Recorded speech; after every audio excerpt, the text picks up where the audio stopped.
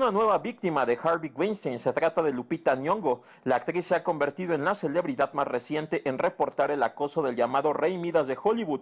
Todo esto lo contó a través de un devastador artículo de opinión para The New York Times. El artículo muestra cómo la ganadora del Oscar sufrió un lamentable suceso cuando el cineasta de 65 años la invitó a ver una película mientras sus hijos estaban presentes. Después le invitó a otra habitación y le pidió que le diera un masaje. Cabe mencionar que la estrella mexicana keniana estaba aún estudiando en la escuela de actuación. Harvey me condujo a un dormitorio, su habitación, y me dijo que quería darme un masaje. Pensaba que estaba bromeando al principio, pero no lo estaba. Por primera vez desde que lo conocí me sentí insegura. Me entró un poco de pánico y pensé rápidamente en ofrecérselo yo. Eso me permitiría tener el control físico y saber exactamente dónde estaban sus manos en todo momento. Aceptó esto y se tumbó en la cama. Comencé a masajear su espalda para hacer tiempo y pensar cómo salir de esa situación Al poco tiempo dijo que quería quitarse los pantalones. Le dije que no hiciera eso y que sería extremadamente incómodo. Él se levantó de todos modos para hacerlo y me dirigí a la puerta diciendo que no estaba del todo cómoda con esto.